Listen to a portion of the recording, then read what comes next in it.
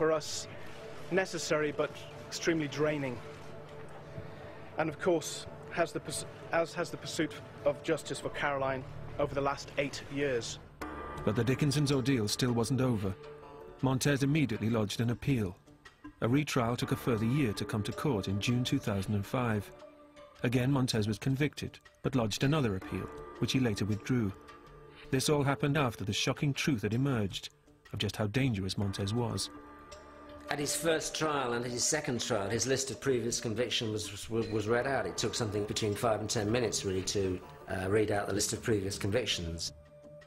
Over a 20-year period, Francisco Arce Montes had committed a catalogue of serious sexual attacks all across Europe. Four charges of rape in Germany, 14 suspected rapes in Spain, plus another attempted rape in France, all before murdering Caroline Dickinson. Here is an example of a pure sexual pervert, but a man who had found himself on a slippery slope of sexual perversion and uh, who never would have been able to uh, crawl back up that, uh, that, that, that, that slippery slope. A pervert like him st stop only when we stop him. Because it's a, it's a way of life for him. It's deviant, of course, but it's a way of life.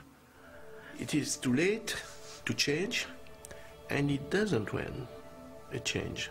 I think he is very, very dangerous. The Caroline Dickinson case raised major questions about the levels of cooperation between police forces across Europe.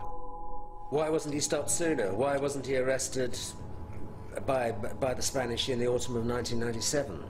The name, his name was on, a, was on the desk of a policeman in, in Madrid, in Interpol in Madrid. Why wasn't, why wasn't he arrested then? The reason why he wasn't arrested then was because there was lack of cooperation between uh, the French, certainly between the French and the Spanish uh, police forces.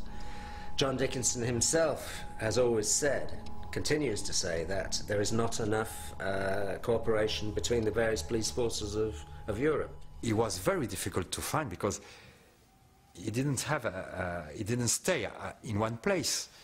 Yes, we know that now that he was in the States, he, he, he was in London, he was in uh, Netherlands, so he was a traveler, a migrant. Uh, very difficult, uh, this type of people to, to identify, to, to, found, to find.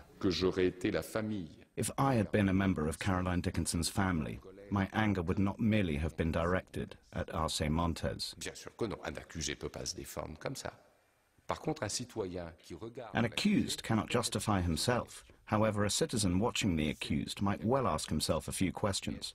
Yes, here is someone who committed a crime, but isn't there an element of failure on my part or that of other citizens? Couldn't I somehow have stopped him before he committed the crime? It's a question which society has to ask itself, and if it doesn't, then this kind of thing could happen again. John Dickinson has always campaigned for an international DNA database, which would help combat criminals who move between countries. I think it's definitely got to be the way forward, uh, not just in France, but the whole of Europe.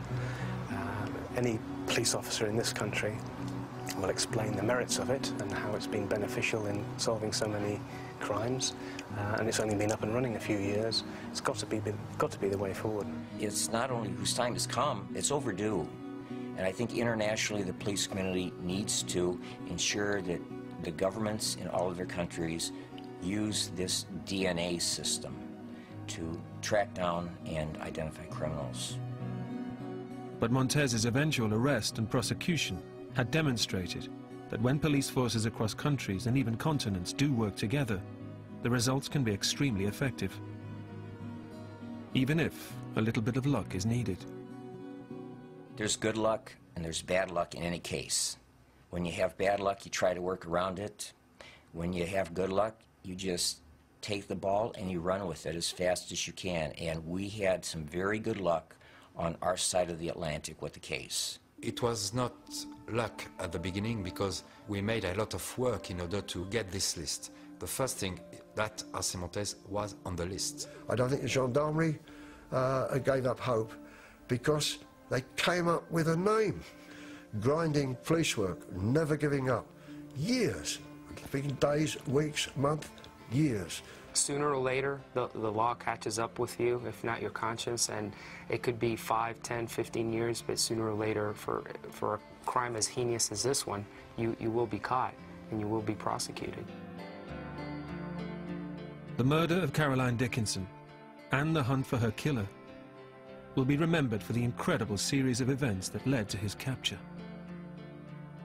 But ultimately, it was due to the relentless campaigning of her father, John Dickinson, who never gave up the hope that the culprit would one day be caught, and he would get justice for his daughter. First thing I'd like to say that this is about Caroline, or Kaz, as some of her friends knew her.